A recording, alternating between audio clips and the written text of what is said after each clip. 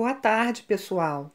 Conforme eu tinha dito com alguns amigos no direct, eu vou fazer um vídeo agora comentando um pouquinho sobre o que aconteceu com o peitoral do Blue da Z-Dog e comparando com, é, com outros peitorais né, de outras marcas.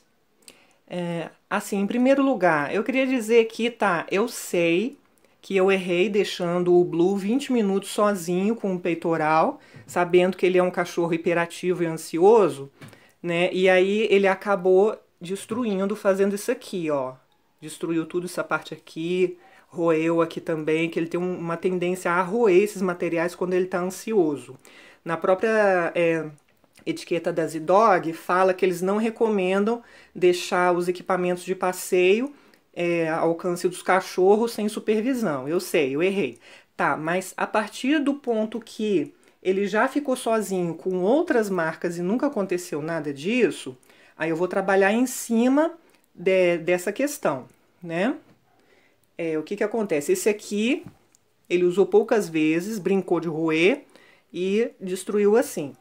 Aí eu comentei com o pessoal que esse outro aqui, ó, da Azul Pets, ele está usando desde dezembro e mesmo tendo ficado já sozinho com ele algumas vezes, já tentado roer ele algumas vezes, nunca aconteceu nada parecido, tá? É, eu já comprei esse peitoral aqui da Azul Pets junto com a guia no Enjoei, quer dizer, ele já era usado, ele já tinha algumas marcas de uso, ele já tinha assim umas partezinhas puídas, né? Já um pouquinho desbotada, quer dizer, ele já tinha sido bem usado antes de eu pegar ele para mim, mas mesmo assim ele está durando esse tempo todo. O Blue passeia quase todo dia, só no início da quarentena que a gente ficou um período sem passeio, e mesmo assim ele ficou inteirinho. Agora, o que, que eu reparei de diferente no material das duas marcas? A Z-Dog você pode ver que, apesar de ser um poliéster de qualidade e das costuras serem sim reforçadas, né, como eles sempre dizem na propaganda da marca, é, o entrelaçamento ele é mais espaçado, tá vendo? Peraí que...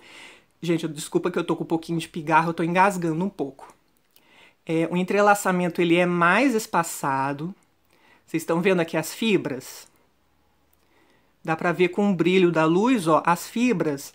E aí o que, que acontece? Com esse entrelaçamento espaçado das fibras, facilita o cachorro enfiar a pontinha do dente aqui e, e arrancando, tá vendo? Ó, só de eu passar a unha aqui, ele já começa a desgastar um pouco.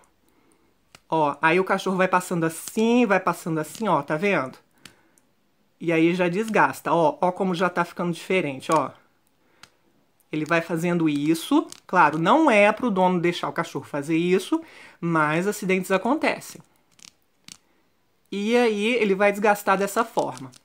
Agora, quando a gente repara o poliéster usado nas US Pets, ele é bem mais compactado, ó, o entrelaçamento. Você não vê as fibras da mesma forma que vê da Z-Dog, tá? Ele não é tão brilhante, mas quando você passa assim a unha, ele é liso. Você não consegue tirar, sabe? É, é como se na Zidog você pudesse, tipo com uma agulha, tirar assim, sabe? A fibra. E das os pets você não consegue, passa reto assim porque é muito liso, é, é muito junto o entrelaçamento da fibra. Aí eu peguei aqui também as guias, uma guia G de cada uma, que dá pra gente notar melhor esse efeito. A câmera do celular é ruim, ela desfoca o tempo todo, mas tá vendo, ó, o entrelaçamento aqui das Us Pets, ele é bem juntinho, fica bem lisinho. E da Z-Dog, apesar de ser um trabalho bonito, de qualidade, ele tem esses espaços entre as fibras. Aí isso facilita qualquer animal passar o dente, passar a unha e dá mais desgaste, né? Agora sim, ah, Clara, você tá falando que a Zidog é uma marca ruim, não sei o quê, eu nunca tive problema com a Zidog, todo mundo gosta dela, tal, tal, tal. Não, não é isso. Não tô falando que a Z-Dog é ruim. Eu só tô falando assim.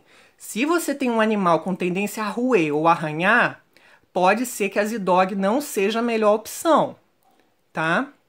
A gente tem outras opções no mercado que seja melhor para os roedores. É, o único problema aqui da Zuz Pets é que ela não tem muita variedade, ao meu ver, ao contrário da Z-Dog.